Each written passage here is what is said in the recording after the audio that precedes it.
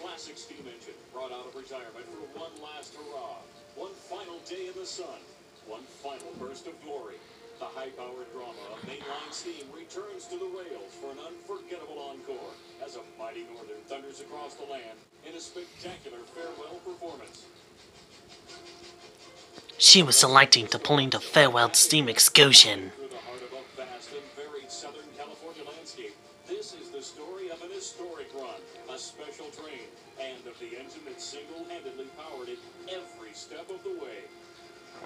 Fighting fierce mountain grades, threading its way across a busy Class 1 mainline, rolling at speed through the vast high Mojave Desert. I don't know. Power meets Streamliner in a final classic confrontation of old versus new. This is a saga of steam and triumph. This is the legend of 3759.